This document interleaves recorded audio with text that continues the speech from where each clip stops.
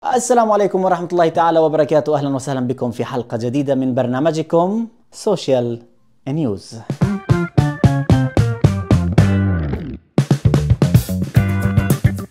اليوم جبنا لكم موضوع جدا شيق وممتع ومثير للاهتمام. ممكن مثير للجدل ممكن مضحك ما بعرف. ولكن الموضوع له علاقة باليمن. فأنت لما تحكي اليمن حط إيدك على رأسك.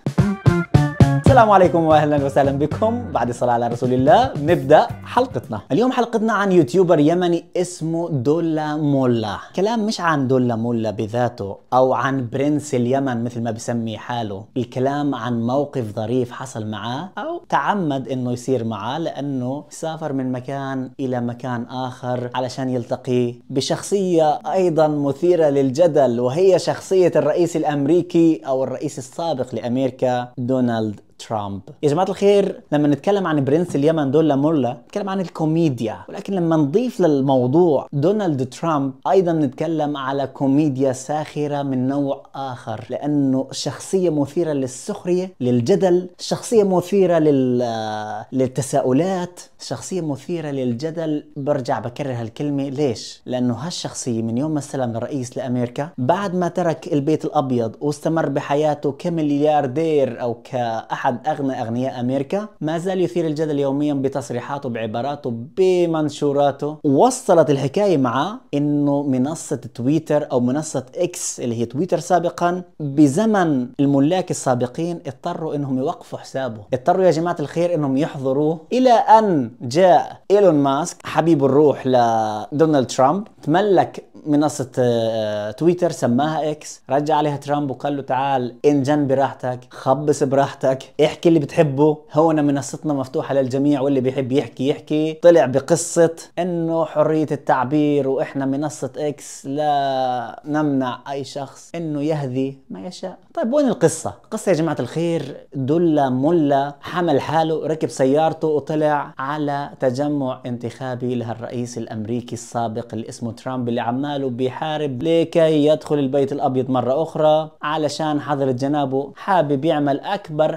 حملة ترحيل للمهاجرين بتاريخ أمريكا. في الانتخابات السابقة كان شعاره Let's make America great again. Let's make America great again. بده يعمل أمريكا عظيمة مرة أخرى. ما بعرف إذا كانت عظيمة قبل هيك ولا ما كانت. هذا نقاش ممكن يختلفوا عليه الناس وممكن يتفقوا عليه. ولكن الفكرة إنه ترامب اليوم جاي بشعارات جدا مختلفة عن المرة اللي سابقة. عظم الأمور كبرها لأنه خسر مرة انتخابات وعرف إنه الموضوع لازم أولا يا أولا مثل ما بيقولوا باليوناني يعني كل شيء قبل كل شيء. ومثل ما كنا نقول زمان لما كنا نلعب وإحنا صغار كنا ندخل على ساحة كرة القدم كنا نقول لعيبها خريبها يعني يا بلعب يا بخربها وفيش مجال. يا بلعب يا بلعب. هذا اللي صار بعد ما صرح ترامب وقال أخيرا إنه راح يعترف بنتائج الانتخابات بس إذا كانت لصالحه. يعني إذا هو فاز راح يعترف إذا ما فازش مش راح يعترف. مش قصتنا هون ترامب بنحكي عنه مرة ثانية. موضوعنا عن دولا مولا. دولا مولا شو عمل يا جماعة الخير؟ راح على السباق الانتخابي على تجمع انتخابي لترامب. بعد ما حضر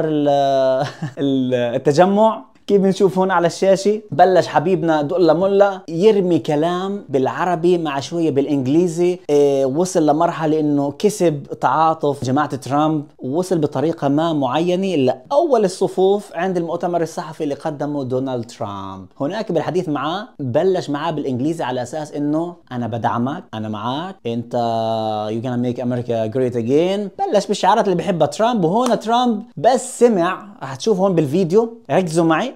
هون بس سمع إنه المرافق لترامب عمال بيقول له عنده 1.6 مليون متابع على اليوتيوب. ترامب لما سمع هالقصة سمع بقول لك عنده 1.6 صحيح ترامب عنده مليارات الدولارات يعني ولكن لما سمع 1.6 مليون هون مرشح للرئاسة. شو بده؟ بده شهرة بده يوصل للناس بده حد يوصل صوته. فلما سمع 1.6 وقف ومد إيده وسلم عليه. ترامب بيسلم على يوتيوبر بيقول له السلام عليكم. hi how are you welcome to my race بتعرف الأمريكي الإنجليزي الواو فالمهم هون بتلاحظوا إنه بقول له أنا بدعمك وأبصر إيش؟ وبيساله سؤال اسمعوا. When you become the president of the United States, did you stop the war the war in the Middle East? قل له بالعربي إنه إذا أنت فزت بالانتخابات الأمريكية رح توقف الحرب في الشرق الأوسط؟ طبعا أنا اللي بوقفها. ترامب إذا بتقول له إذا فزت بالانتخابات حتجيب القمر توزعه على الكيلو؟ بقول لك هعملها. شو ما بدك بيعمل شو ما بدك بس المهم بده يفوز بالانتخابات. المهم تعالوا نرجع لدولا مولا شو بقول له هون؟ بعد ما قال له إنك حتفوز وحتصير وحتوقف الحرب في الشرق الأوسط دولا مولا بقول له المطي ولد المطي. الحمار ولد الحمار. تسمع المشهد؟ تعيده مليون مرة. اسمع اسمع نعيده مرة ثانية. نعيده مرة ثالثة. اللي ما سمعش يسمع مرة ثانية. اسمع شو بقول لترامب. الحمار ولد الحمار يعني بتحسوا لدولا مولا برنس اليمن. تحسوا في جبال صنعاء. ونازل ما يهمه شيء ما يهمه حد. اسمع نسمع مرة ثانية. أنا على فكرة عدت الفيديو تبعه أكثر من خمسين مرة لأنه الموضوع جدا يعني مضحك. خلينا نقول مضحك. اسمع. المهم القصة آه، مع دولا مولا قال له المطي ولد المطي الحمار ولد الحمار في آه، هو يلقي في الكلمة الكل بيهتف ترامب ترامب. هو واقف يقول له الملعون الملعون دولا مولا معروف عنه طبعا إنه هو كوميدي. راح آه، تبحثوا عن اسمه على اليوتيوب تشوفوا عنده 1.6 مليون متابع على اليوتيوب. إنسان كوميدي بيستخدم الكوميديا السوداء. حتى إذا بتلاحظوا بالفيديو هون شوفوا آه، أول ما وصل طلع هنا التقى في مجموعة ناس. وبرضه سبهم بالعربي.